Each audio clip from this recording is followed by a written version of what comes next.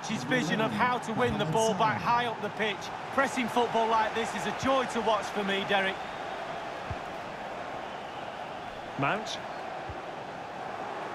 Liverpool have it once again. Well, they might be onto something. And Salah!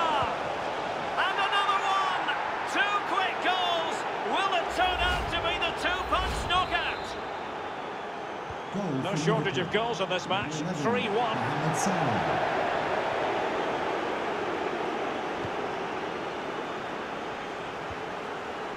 And scope for them to produce something exciting. Good looking move there. He's in with a chance. Salah! And he's only gone and made it a hat-trick. Absolutely unplayable today. What a performance.